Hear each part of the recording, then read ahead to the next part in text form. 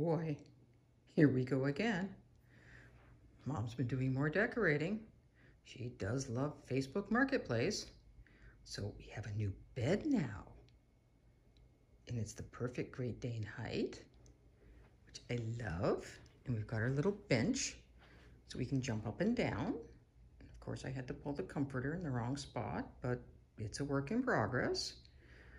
Jack has his little perch beside the food dog and his blinds that he likes to play with, which annoys dad to no end. Hey, Jack, what do you think? Should we just like have some fun here? Look at that. Oh, don't tell dad.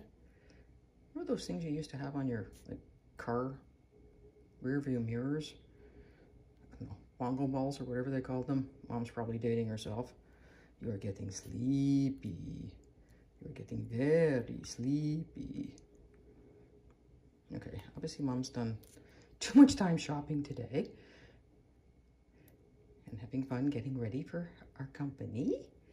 We're going to have wonderful fun with our guests. Jack's going to have to whip five Great Danes into shape. That should be interesting. Let go, Jack. Let it go. Let it go. All right. Here we are. Okay, Jack, have you had enough? No flossing today? You're good with your dental hygiene? This is good.